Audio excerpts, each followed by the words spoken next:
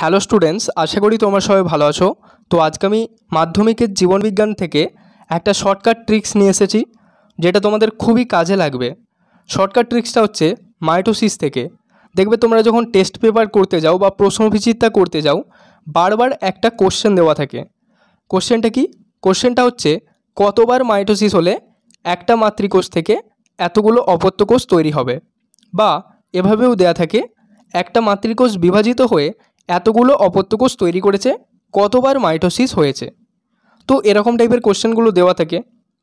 এবার বেশিরভাগ ক্ষেত্রেই দেখা যায় কোশ্চেনগুলো দিয়েছে এমসিকিউ বা এসিকিউ হিসাবে, অর্থাৎ এক নাম্বারের।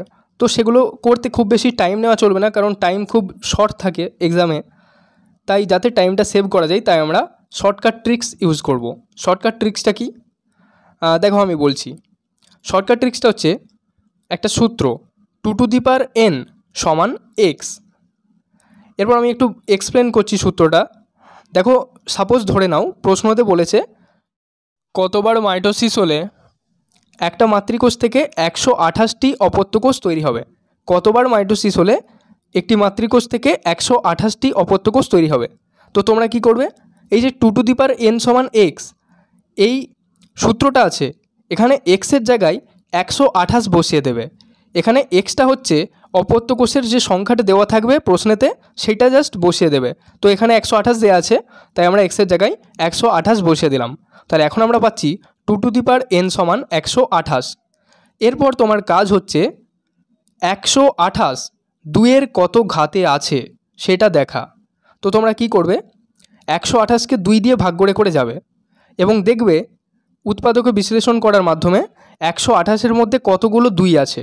তো তোমরা যদি ঠিকঠাক করে উৎপাদকে বিশ্লেষণ করতে পারো, তাহলে তোমরা দেখতে পাবে একশো আঠাশের মধ্যে মোট সাতটা দুই আছে, অর্থাৎ মোট সাতটা দুই গুণ করলে একশো আঠাশ হবে। তাহলে আমরা লিখতে পারি two to the power n সমান two to the power seven. কী করে হলো? একশো আঠাশকে আমরা two to the power seven আকারে লিখেছি। লিখতে পারি অবশ্যই। তো two to the power n সমান two to the power seven. এরপর দেখো দুই আর দুই, ডানপক্ষ আর বামপক্ষ। বামপক্ষ, ডানপক্ষ দুটো সাইডেই কিন্তু দুই। বেস বা নিধানটা কমন আছে। তাই আমরা ঘাতগুলো সমান লিখতে পারি। অর্থাৎ two to the power n সমান two to the power seven হলে এন সমান সেভেন তাহলে আমরা বলতে পারি, সাতবার মাইটোসিস হলে একটা মাতৃকোষ থেকে একশো আঠাশটি অপত্য কোষ তৈরি হবে। তো এটা আমি বোঝানোর জন্য একটু দেরি করে বললাম। এরপর আমি স্পিডে বলছি, দেখো। ধরা যাক কতবার মাইটোসিস হলে একটি মাতৃকোষ থেকে চৌষট্টিটি অপত্য কোষ তৈরি হয়? এই প্রশ্নটা দেওয়া আছে। তোমরা কি করবে? Two to the power n সমান চৌষট্টি। এবার চৌষট্টি হচ্ছে two to the power six. তাহলে two to the power n সমান two to the power six বা এন সমান সিক্স। তাহলে ছবার মাইটোসিস হলে একটা মাতৃকোষ বিভাজিত হয়ে চৌষট্টিটা অপত্যকোষ তৈরি করবে।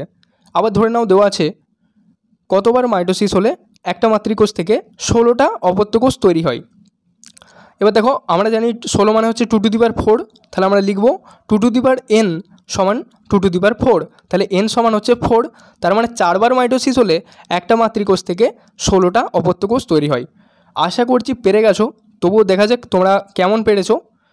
তোমরা যেটা বার করবে, সেটা হচ্ছে কতবার মাইটোসিস হলে একটা মাতৃকোষ বিভাজিত হয়ে বত্রিশটা অপত্যকোষ তৈরি করবে। তোমরা এটা খাতায় কলমে বা মুখে মুখে একটা করে অ্যান্সারটা কমেন্ট বক্সে অবশ্যই জানাবে। এর থেকে আমি বুঝতে পারব তোমরা আদৌ শর্টকাট ট্রিক্সটা বুঝতে পেরেছ কি না আর যদি না বুঝতে পারো শর্টকাট ট্রিক্সটা অবশ্যই আমাকে কমেন্ট বক্সে জানাবে, আমি তোমাদের বুঝতে হেল্প করে দেবো। আর যদি ভালো লেগে থাকে, তাহলে অবশ্যই ভিডিওটা শেয়ার করবে, আর চ্যানেলে নতুন হলে অবশ্যই সাবস্ক্রাইব করে রাখবে। Thank you